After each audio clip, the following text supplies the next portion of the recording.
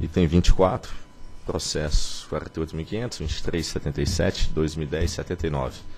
Recurso administrativo interposto pela empresa Prima Leste Geração de Energia Elétrica Limitada, em face do despacho 2288 de 2012, emitido pela SGH, por meio do qual não foram aceitos os estudos de inventário do rio Patovi e seus afluentes, Rio Arejado e Ribeirão Pratinha, e foi revogado o despacho número 2428 de 2010, que concedeu o registro ativo para o desenvolvimento dos referidos estudos. O diretor relator, Dr. Romeu Donizete Rufino, informa que há pedido de sustentação oral. Em 20 de agosto de 2010, a SGH efetivou como ativo o registro solicitado pela Prima Leste para elaboração dos estudos de inventário hidrelétrico do rio Batovi e seus afluentes, Rio Areado e Ribeirão Pratinha. Em 15 de junho de 2012, a Prima Leste encaminhou a referido, referidos estudos para a análise da SGH. Em 11 de julho de 2012, a SGH decidiu não aceitar os estudos apresentados, uma vez que a RT do responsável técnico pelos estudos cartográficos e topográficos não é específica para o rio Batovi e seus afluentes. Em 30 de julho de 2012, a Prima Leste interpôs recurso administrativo em face dessa decisão da SGH, requerendo que seja concedido o aceite pleiteado e que os estudos passem para a fase de análise para fins de aprovação. Em 1 de agosto de 2012, foi realizada reunião entre a empresa e a SGH, onde a recorrente apresentou os argumentos expostos em seu recurso. Em 6 de agosto de 2012, a Prima Leste protocolou informações adicionais no sentido de complementar o recurso interposto. Em 27 de agosto, a SGH decidiu pela manutenção integral da sua decisão. É o relatório. Sustentação oral será feita pelo Dr. Clairton Luiz Onta, diretor da Prima Leste Geração de Energia Elétrica Limitada.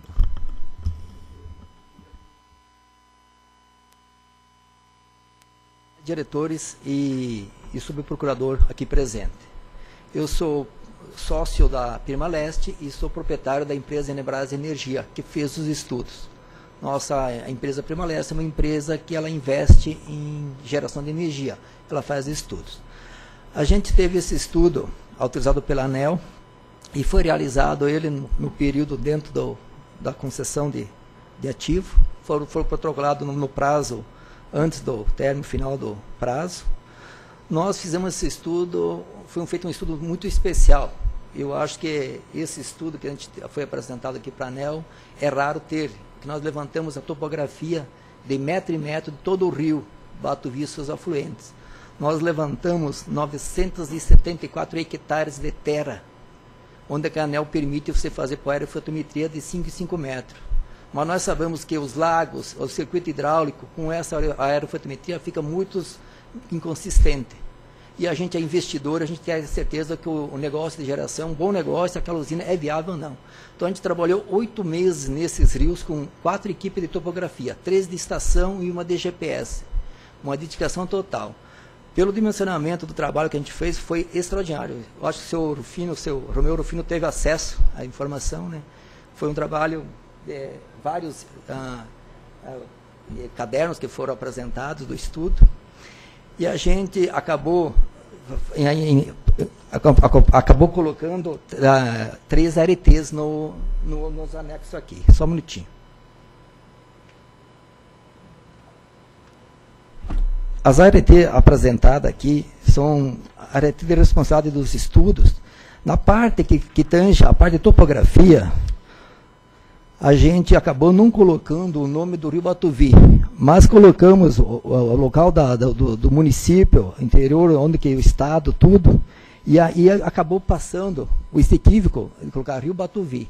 Mas todas as RTs, onde se relaciona a empresa, os dados de obra e serviço são idênticos. A ANEL, no, no entendimento dela, alega que não teve uh, o, o, o nome certo, Rio Batuvi. Mas nós, as ARTs estão anexas, quatro, entregues nos prazos, o trabalho foi realizado, entendeu?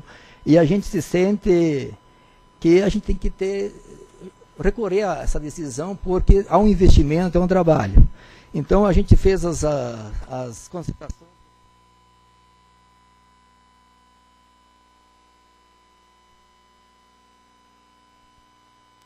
Alô? A gente fez uh, os recursos uh, e o próprio Anel achou o estudo muito muito bom mesmo, porque eu conheço muito inventário, a gente trabalha na área e a gente sabe que o que a gente fez foi muito bom. Nós, nós, nós procuramos essa diretoria da ANEL para que ela reveja essa situação, pois é, o nosso estudo, junto com os demais que estão nesse rio, com certeza vai contemplar o, o objetivo da ANEL, que, que seja o quê? Que esses rios tenham a melhor otimização possível de geração, e, e, com isso escolha-se o melhor estudo de inventário. Para quê? Para que o país possa ter uma geração de energia melhor. Então nós queremos que a, a, essa diretoria reveja essa, essa, reconsidere essa decisão da, da ANEL e que ative o aceite da, da, da nossa, dos nossos estudos. E a gente pede em nome dos investidores, das pessoas que trabalharam nesse estudo, que foi uma dedicação muito grande, e que esse lapso que aconteceu, eu não invalida todo um trabalho que a gente realizou lá, e que, sem sombra de dúvida, não existe é, que vai dizer assim, não, essa RT não atende a, a totalmente as considerações que a ANEL exige.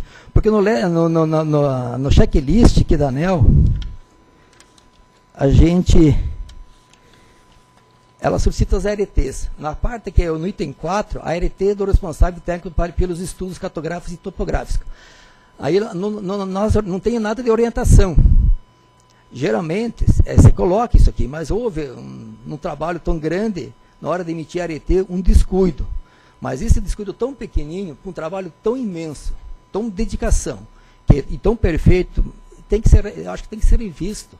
A gente solicita para essa diretoria que reveja essa situação, porque a gente tem como uma paixão fazer geração no país. Então, quando a gente pega um trabalho, a gente trabalha para ter, é, ter um êxito, com certeza, mas fazer uma coisa muito bem feita. Então, nós gostaria que essa atual, essa diretoria aqui nos, nos, nos desse essa oportunidade de nós ter o aceite e for o nosso estudo com os demais estudos sejam julgados pelos méritos do que quem fez o melhor trabalho, tirou a melhor geração daquele rio, entendeu? que aí nós se sentiria muito honrado com essa decisão. Eu agradeço a oportunidade. Muito obrigado, Procuradoria. A Procuradoria opina pela presunção de juridicidade da decisão a ser proferida pela diretoria. Ao analisar os estudos de inventário apresentados, a SGH concluiu que o checklist para fins de aceite não havia sido integralmente cumprido pela recorrente, uma vez que teria sido descumprido o comando contido em seu item A3, que estabelece que os dados das ARTs deverão estar compatíveis com as informações do estudo. Dessa forma, o aceite não foi concedido e a Prima Leste teve seu registro inativado. Por sua vez, a Prima Leste pondera que a ART foi emitida dentro dos padrões estabelecidos pelo sistema CREA Mato Grosso, com a informação da cidade de Tesouro Mato Grosso, mencionando os estudos topográficos, sendo a área deste município aquela que abrange a bacia do rio Batovi e seus afluentes, Rio Areiado e Ribeirão Pratinha. Outro sim, o período dos estudos, conforme demonstra a RT, foi realizado entre 4 de 7 de 2011 a 31 de maio de 2012, ou seja, dentro do período é, em que o estudo de inventário encontrava-se ativo. Essa foi a alegação da empresa. Dessa forma, a recorrente entende que a deficiência apontada, abre aspas, não possui força para macular todo o procedimento dos estudos apresentados, notabilizando-se por uma mera irregularidade formal que não traz prejuízo às partes. Mesmo considerando que a ausência da RT específica de responsável técnico pelos estudos cartográficos topográficos não compromete os estudos apresentados e é facilmente sanável, a SGH entende que não poderia agir de outro modo, visto que a falta de um dos itens do checklist vincula o ato administrativo subsequente, indicando sua não concessão. Entretanto, verifico que o checklist impõe apenas que a RT deve estar compatível com os estudos entregues, o que se verifica plenamente nesse caso, uma vez serem compatíveis o, contratante, uh, o, contratante, o local, o período e o tipo de serviço executado. O fato da atividade técnica descrita na RT referir-se simplesmente à topografia não é suficiente para caracterizar o descumprimento do disposto no checklist. Se a descrição detalhada da atividade na RT é peça fundamental para a concessão do aceite, tal fato deveria estar exposto de forma clara e objetiva nas regras é, divulgadas. Assim, entendo que no presente caso, a decisão da SGH caracteriza-se como talvez um formalismo excessivo que não encontra amparo nas regras vigentes e que um simples pedido de esclarecimento seria suficiente para superar este assunto. Dessa forma, o processo deve retornar à situação anterior à decisão contida no despacho 2288-2012 e a SGH deve oficiar o agente para promover os esclarecimentos e ajustes que julgar necessário relativo à RT, entregue para prosseguimento da análise dos estudos de inventário para fins de aceite. Aqui, evidentemente que eu não estou criticando a SGH, ela empregou uma interpretação na, no comando checklist, e é uma, é uma interpretação que não é no caso específico, a SGH tem tido o cuidado e o zelo para não flexibilizar uma interpretação para ter uma uniformidade no trato. Então eu acho que a SGH fez o que cabia ela fazer. O que eu defendo aqui é que a diretoria, olhando para o mérito e a situação de uma maneira mais ampla, entendo que deve, é, vamos dizer assim, encaminhar a decisão no sentido de, de de permitir que esse esclarecimento seja feito e, portanto, seja analisado o mérito do estudo. É, e, e, claro, se ele merecer ser aprovado, seja aprovado, senão não seria aprovado. Passa ao dispositivo. De, do exposto do que consta do processo, voto por 1. Revogar o despacho 2288, de 11 de julho de 2012, por meio do qual a SGH negou aceite ao estudo de inventário hidrelétrico do rio Batovi e seus afluentes, Rio Areiado e Ribeirão Pratinha, no estado de Mato Grosso, apresentado pela Primaleste Geração de Energia Elétrica Limitada e revogou, que revogou o despacho número 2428 de 20 de agosto de 2010 e determinar a devolução dos autos à SGH e a retomada dos procedimentos de análise do referido estudo de inventário para fins de aceite técnico. É o voto. Que em discussão? Aqui eu só fico, é, não é nenhuma dúvida em relação ao caso, não. Mas nós já conversamos em, em outra oportunidade, falamos isso aqui na diretoria, sobre a necessidade de haver uma previsão na resolução de um prazo curto para essas hipóteses em que cuida-se apenas de é, um esclarecimento ou um documento que foi esquecido, ou seja, algo que não. Uma, uma previsão que permita uma complementação é, simples, não de algo que vai implicar uma, um refazimento do estudo ou a, um, um tempo elástico demais a permitir que um estudo mal feito e entregue no prazo fixado seja depois melhorado é necessário ter isso, porque eu entendo a área. Eu nem diria que houve excesso de formalismo, viu, doutor? A área tem procedido assim, não está no checklist, é, reprova. Não é, em alguns casos não é uma solução adequada, como nesse. É um esclarecimento simples que não é, deve levar a uma revogação do despacho de aceite, que faz com que o processo seja reiniciado.